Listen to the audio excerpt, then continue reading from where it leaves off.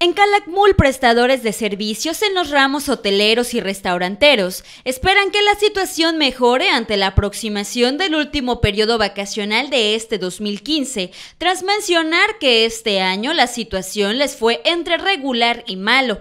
Jorge García Lievano, María Cabrera Domínguez y Katy Reyes coincidieron que en lo que va de este 2015 prácticamente la ocupación de los servicios ha sido pocos, por lo que solo alcanza para pagar a los empleados y Hacienda. Telemar, reflejando tus emociones.